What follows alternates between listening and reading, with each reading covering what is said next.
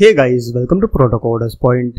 Okay, so in this tutorial, we're gonna check out how to uninstall Flutter from your Android Studio IDE and Windows. Okay, so let's begin. So first of all, just go to your Android Studio IDE and go to Files, Settings.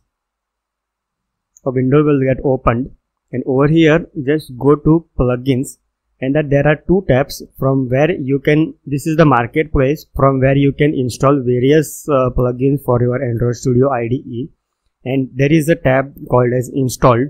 So over here uh, you need to search for your dart plugin and a flutter plugin. So just click on it. And here as you can see there is a disable button. So you can just disable it if you are making use of it in future. Like same for uh, flutter plugin. So you can just disable it if you want to use it in future okay? And if you want to uninstall then you can see a drop down button over here. So just press on it and press on this uninstall button okay? So i'm not going to do this process because i need a uh, flutter in my system. So i'm just showing you the steps what to do okay? So you can see you need to uninstall this dart plugin and also the flutter plugin in this uh, plugin page.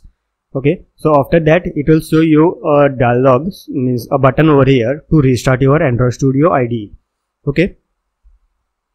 Okay? So after doing after performing the uninstallation plugin process the flutter is still been installed in your windows operating system. Okay? So for example if you go to a command prompt like this and here you just press enter flutter keyword and you can see a flutter is been installed in my operating system. So these are the command. That means uh, flutter has been installed in our system yet.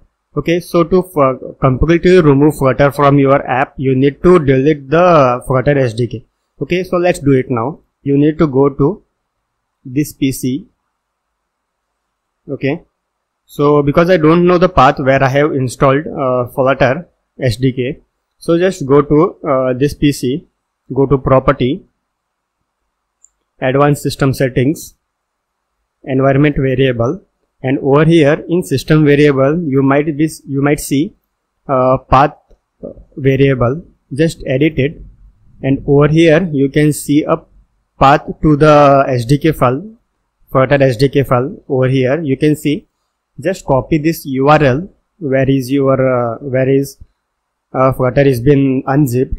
Just copy this path okay and then delete this uh, variable from here the path variable from here okay. So just press on this delete button okay. So i'm not going to do that and then paste it over here okay.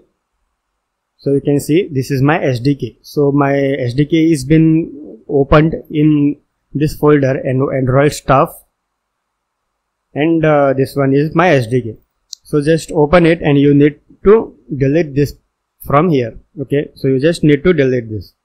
Okay? So after doing that your uh, flutter sdk will get completely removed from your uh, uh, operating system. Okay? So that's all for this video tutorial. Hope you got the concept of how to uninstall flutter from your operating system and android studio. Thanks for watching. Forget to subscribe. Proto Coders point. Thank you